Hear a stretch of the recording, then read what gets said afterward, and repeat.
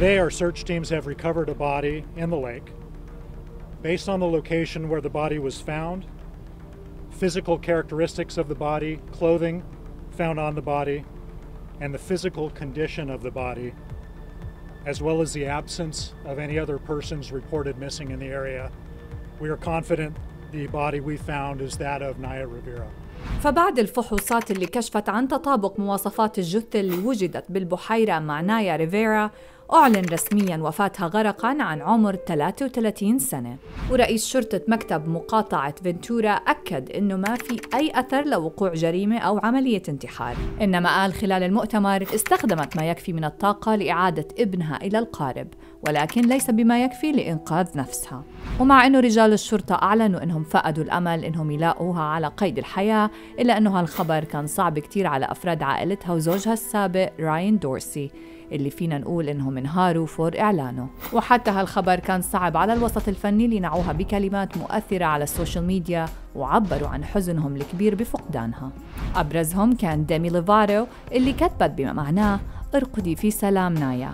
الشخصية التي أديتيها كانت مهمة جدا بالنسبة لعدد كبير من الفتيات المتحفظات مثلي وقتها. وكانت طموحاتك وإنجازاتك ملهمة لنساء أمريكا اللاتينية في جميع أنحاء العالم. وريكي مارتن نشر صورة بتجمعه مع نايا وكتب بما معناه ذكريات جميلة ارقدي في سلام. وفريق عمل مسلسل Glee اللي فينا نقول إنه كان أهم عمل بمسيرة نايا اجتمعوا مع بعضهم ك tribute إلها بمشهد مؤثر على بحيرة بايرو كأنهم عم بيودعوها بنفس المكان اللي فارقت الحياة فيه.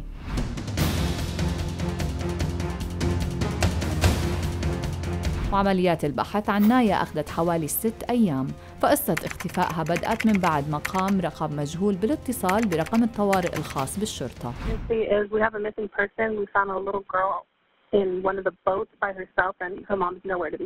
فنايا بهاليوم قامت باستئجار قارب وراحت برحلة صغيرة بالبحيرة مع ابنها خوسيه.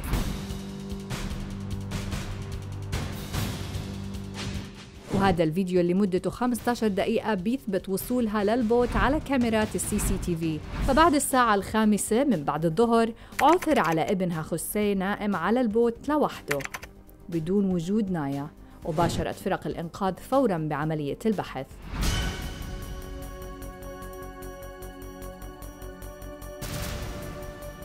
ومن الطبيعي إنه يتم استجواب خسي لمعرفة أي معلومة ممكن تساعد.